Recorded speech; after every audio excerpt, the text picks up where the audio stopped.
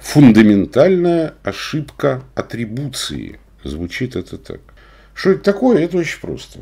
Слушайтесь внимательно. Это наша с вами склонность объяснять поступки и поведение других людей их личностными особенностями.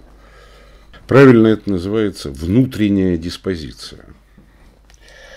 А собственное поведение свое внешними обстоятельствами.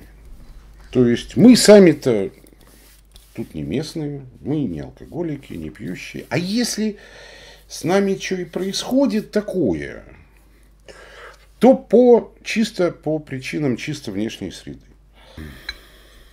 В общем, я такой умный, и в моем поведении виноваты внешние обстоятельства. А другой, он такой э, глупый, он сам виноват.